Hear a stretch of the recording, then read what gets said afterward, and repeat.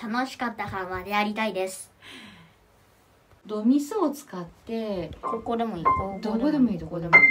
ここでも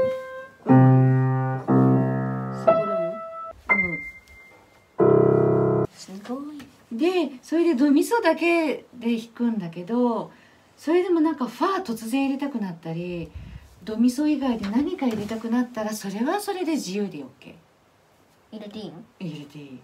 基本はドミソだけ。どじゃああおいちゃんからいこう。